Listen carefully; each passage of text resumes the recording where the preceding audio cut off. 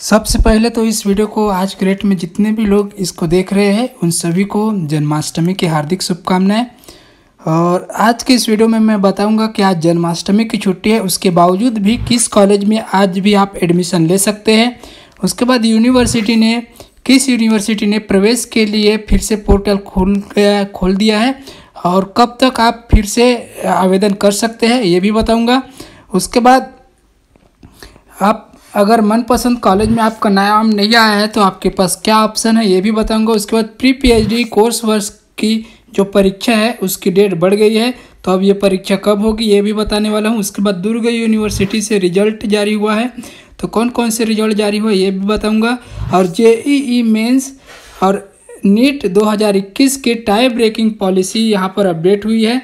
तो नई पॉलिसी क्या है, इसके बारे में बताऊँगा। उसके साथ साथ और बहुत से न्यूज़ हैं। जैसे कि यहाँ पर कृषि की पढ़ाई करने के लिए दो स्टूडेंट जो है विदेश जा रहे थे वो कौन है और कहाँ जा रहे हैं, ये बताऊँगा। और कुछ उपलब्धियाँ हैं, वो भी बताऊँगा। तो नमस्कार दोस्तों, मैं हूँ आपका दोस्त राम वर्मा और स्वागत है आपका C G education news YouTube channel पर। अगर आप इस चैनल पर पहली बार आए हैं तो चैनल को सब्सक्राइब करके बेल आइकन बटन दबाना ना भूलिए, क्योंकि यहाँ पर आपको छत्तीसगढ़ की शिक्षा से जुड़ी हुई हर खबर लगातार मिलती रहेगी। और साथ ही साथ वीडियो को लाइक करते चलिए, इससे मैं आपके लिए इसी प्रकार के वीडियो हमेशा बनाता रहूँगा। तो चलिए फटाफट स्टार्ट करते हैं। तो यहाँ पर पहली खबर हम लेते हैं बिलासपुर से। तो सीएमडी कॉलेज में आज भी आप एडमिशन ले सकते हैं। सीएमडी महाविद्यालय 30 अगस्त को कृष्ण जन्माष्टमी के दिन भी खुला रहेगा।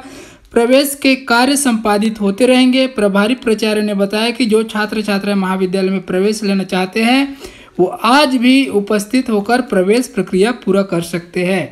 उसके बाद यहाँ पर रायगढ़ से खबर है तो अधिकांश स्टूडेंट ने सरकारी कॉलेज में फॉर्म भरे हैं, इसलिए सीटें फुल हो गई है। निजी समेत कई कॉलेज में आवेदन कम आए हैं तो नंद कुमार पटेल विश्वविद्यालय ने ग्रेजुएशन और डिप्लोमा कार्यक्रम में सीटों में प्रवेश के लिए पोर्टल खोल दिया है।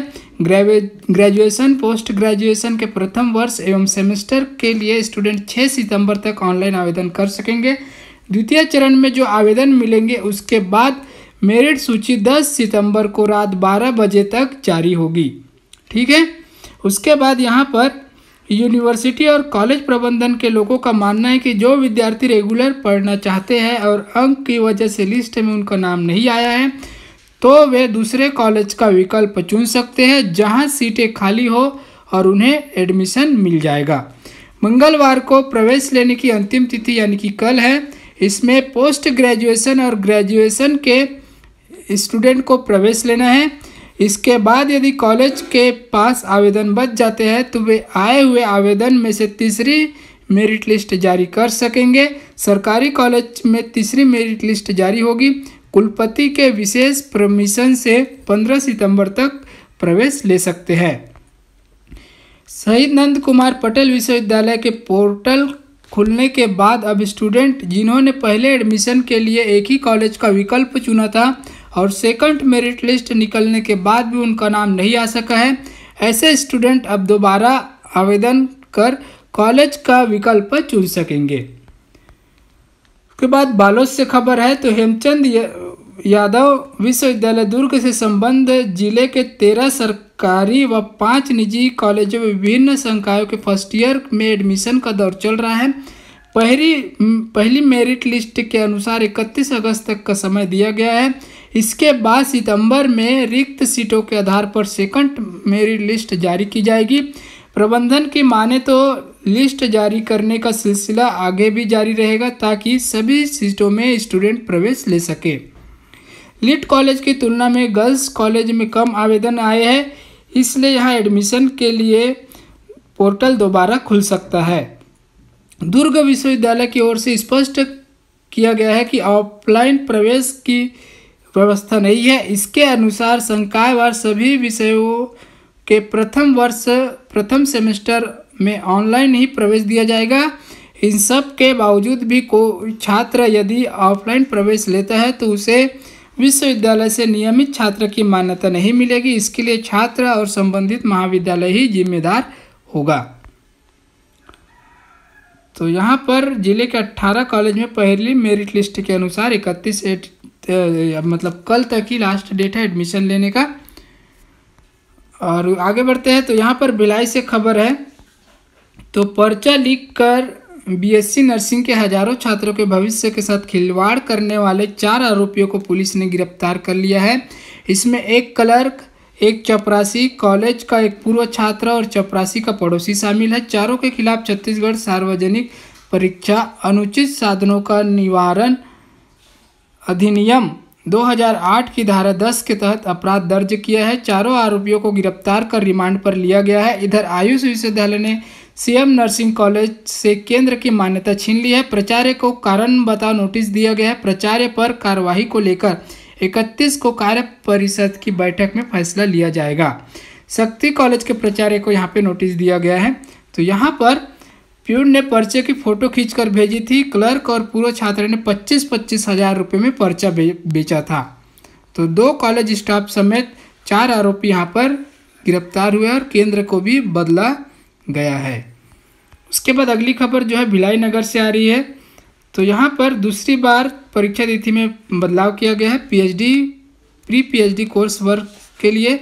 अब यहाँ पर चार सितंबर तक जो है आवेदन कर सकते हैं ऑनलाइन। तो तकनीकी विश्वविद्यालय द्वारा प्री पीएचडी कोर्स वर्क आप एक ग्यारह दिसंबर को ली जाएगी, जबकि पहले आठ दिसंबर को रखी गई थी। परीक्षा तिथि को निरस्त करते हुए इसकी तिथि बढ़ा दी गई है। 11 सितंबर को दोपहर दो बजे से शाम पाँच बजे तक बीआईटी दुर्ग में परीक्षा होगी। उसके बाद यहाँ पर दुर्ग विश्वविद्यालय ने वार्षिक परीक्षा परिणाम यहाँ पर घोषित किया है। अप्रैल सेमेस्टर परीक्षा 2000 जो रोके गए थे, वो वाला 2018 उन्नीस, बीस रुके हुए परीक्षा परिणाम घोषित किया है एक अट्ठाईस अगस्त को। तो इसके लिए मैंने कल ही यूनिवर्सिटी नोटिफिकेशन, आप देखिएगा उनतीस अगस्त का यूनिवर्सिटी नोटिफिकेशन उस पर मैंने बता दिया, वो आई बटन पर आप देख सकते ऊपर, और प्ले लिस्ट में भी जाकर देखिए, जो सी जी यूनिवर्सिटी नोटिफिकेशन का प्ले लिस्ट है, उसमें उनतीस अगस्त का यहाँ पर ये हेमचंद यादव का रिज़ल्ट मिलेगा आपको, और ये सी एस द्वारा ये बढ़ाया गया है डेट को, उसके बारे में भी नोटिफिकेशन आपको वहीं पे मिलेगा। उसके बाद यहाँ पर नेशनल टेस्टिंग एजेंसी एनटीए ने कोरोना काल को देखते हुए नीट और जेई मेंस के नियमों में संशोधन किया है। इसके तहत इस बार मेडिकल कॉलेज और आईआईटी में प्रवेश के दौरान उन विद्यार्थियों को प्राथमिकता नहीं दी जाएगी जिनकी उम्र अधिक है। तो यहाँ पर जान लीजिए, नियम मैं बता रहा हूँ। जेई मेंस 2021 में जो नियम है वो है, मैथ्स में अच्छे स्कोर वाला कैंडिडेट मेरिट में ऊपर रहेगा। मैथ्स में भी नंबर बराबर है तो फिजिक्स और मैथ्स फिजिक्स से भी नहीं तो केमिस्ट्री से मेरिट डिसाइड करेंगे। अगर फैसला नहीं हो पाता है तो कम गलत उत्तर देने वाले को प्राथमिकता दी जाएगी। उसके बाद नीट का नियम सुन लीजिए तो बायोलॉजी बॉटनी और जूलॉजी में अच्छा स्कोर पाने वाला स्टूडेंट मेरिट में ऊपर होंगे। बायोलॉजी से फैसला नहीं हुआ तो केमिस्ट्री के मार्क्स देखेंगे। तब भी फैसला नहीं हुआ तो जो अटेम्प्टेंट गलत उत्तर में कम अनुपात वाले स्टूडेंट को ऊपर होंगे, इसके लिए प्रोसेस किया जा रहा है। तो ये है नया नियम, अगर टाई हो जाता है यहाँ पे किसी स्टूडेंट का, तब। उसके बाद यहाँ पर रायपुर से खबर है तो मेडिकल कॉलेज में प्रवेश के लिए 12 सितंबर को नीट होगी। यहाँ परीक्षा 720 अंकों के लिए होगी। यही नंबर ही मेडिकल कॉलेज की राय तय करेंगे। नीट में निगेटिव मार्किंग का सिस्टम इस बार भी है। 1300 मेडिकल सीटों के लिए राज्य भर के तीस हज़ार परीक्षार्थी नीट में बैठेंगे। और पचासी फ़ीसद जो सीट है, वो राज्य के स्टूडेंट के लिए रिज़र्व है। प्रदेश में इस साल नीट के ज़रिए नर्सिंग कॉलेज में एडमिशन को मंजूरी नहीं दी है। यहाँ इस साल व्यापम के ज़रिए ही नर्सिंग कॉलेज के लिए प्रवेश परीक्षा होगी। इसके बाद रायपुर से खबर है तो राज्य सेवा परीक्षा 2020 के ऑनलाइन आवेदन के दौरान एक से अधिक बार फ़ीस कटने की शिकायत उम्मीदवारों ने की थी।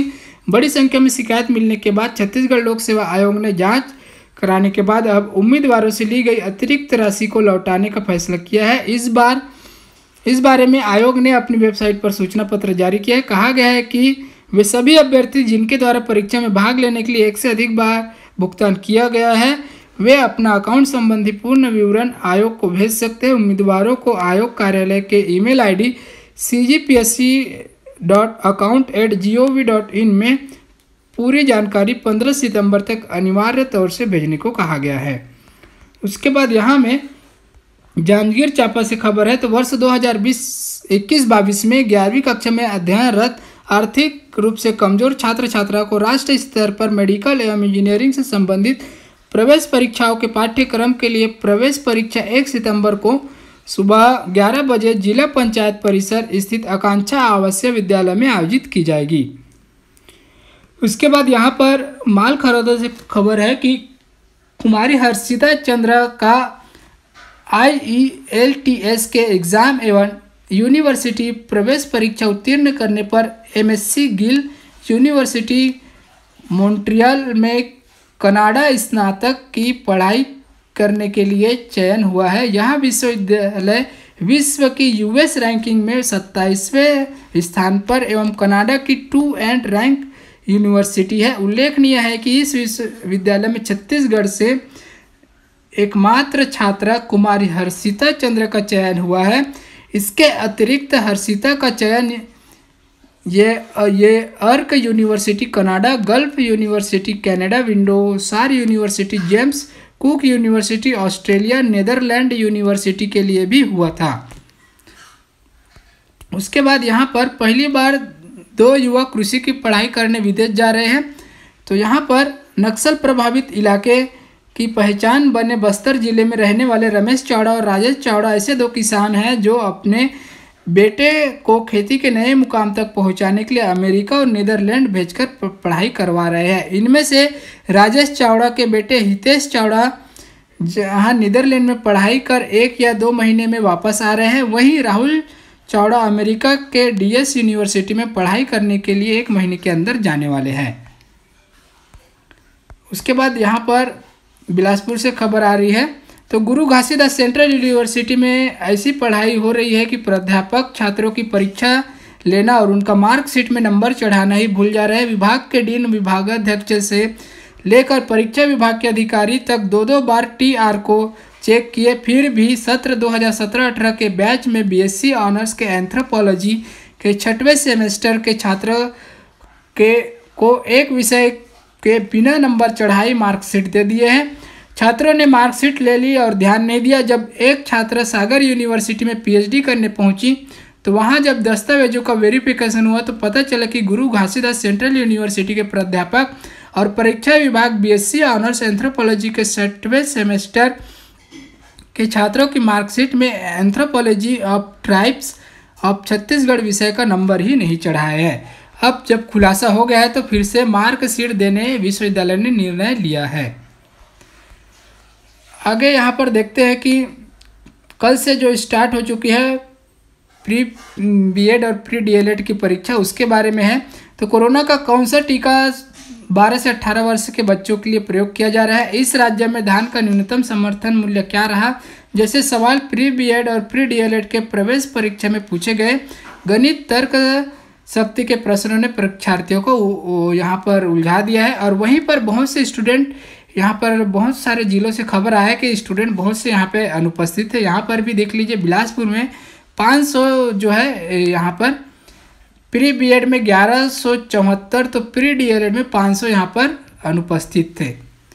उसके बाद अगली खबर है तो दिल्ली राजहरा से तो छत्तीसगढ़ प्रदेश महिला कांग्रेस कमेटी के उपाध्यक्ष एवं समाज सेवी शिरोमणि माथुर ने दिल्ली में वर्तमान दयनीय स्थिति को देखते हुए भूपेश बघेल मुख्यमंत्री छत्तीसगढ़ शासन को पत्र लिखा है कि उन्होंने दिल्ली चिकला कसा दिल्ली राजहरा में मेडिकल कॉलेज, इंजीनियरिंग कॉलेज एवं संगीत महाविद्यालय खोलने की मांग की है। उनके पत्र के अनुसार दिल्ली राजहरा भिलाई इस्पात संयंत्र के लिए एक प्राणवायु के समान है।